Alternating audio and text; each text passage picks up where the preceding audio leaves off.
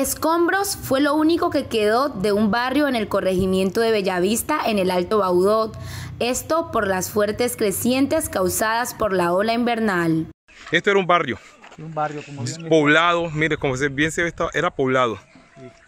No quedó una casa. Una casa Todas las personas quedaron. Queda la calle que teníamos, que ya la habíamos estábamos acabando de emparimentarla, echándole cementico, porque la gente la idea de pasar su fiesta a los a los todo confort. Porque ¿cómo está? Bien, usted, mi vida. Y como usted todo bien, lo ven, vea, esto que yo voy.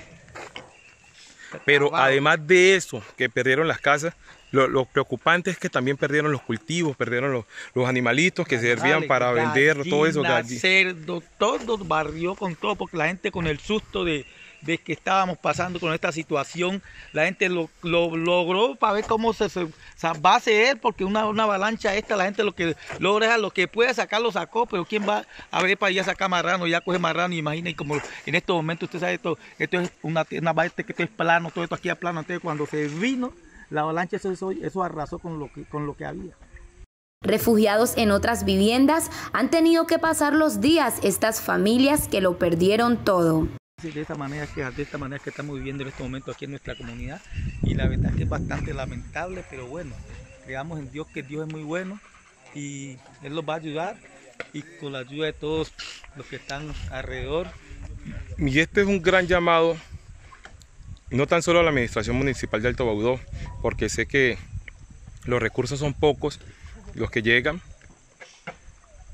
Es un llamado más que a la administración municipal, es un llamado al gobierno nacional que miren estos pueblos, que acá la gente vive de la agricultura, que cambien esa mirada de la inversión pública en el campo, ya menos cemento, más inversión en proyectos de agricultura, proyectos de infraestructura económica que permitan que las personas otra vez recuperen todos sus productos, porque ellos vivían, como les digo, vivían exclusivamente de lo que se produce acá en el campo.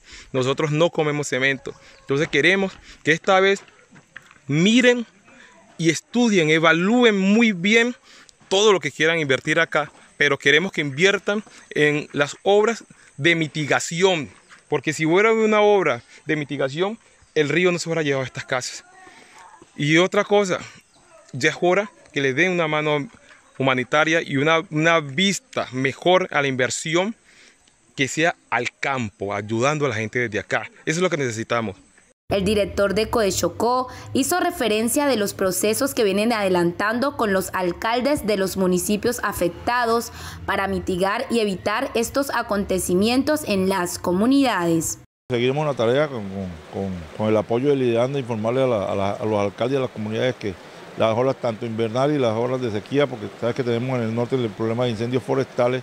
Hay que seguir trabajando, eh, obviamente, con obras de, mitigación, eh, limpieza y destronque de, de, las cauces de los ríos y todo lo que podemos hacer en prevención de, todas eh, estas inundaciones y crecientes y avalanchas torrenciales. Según el balance dado por el director, en los municipios Alto, Medio y Bajo Baudot, los niveles de agua han bajado. Se espera que para los próximos días los otros sectores afectados recuperen su completa normalidad. Para CNC Noticias, informó Meilias Prilla.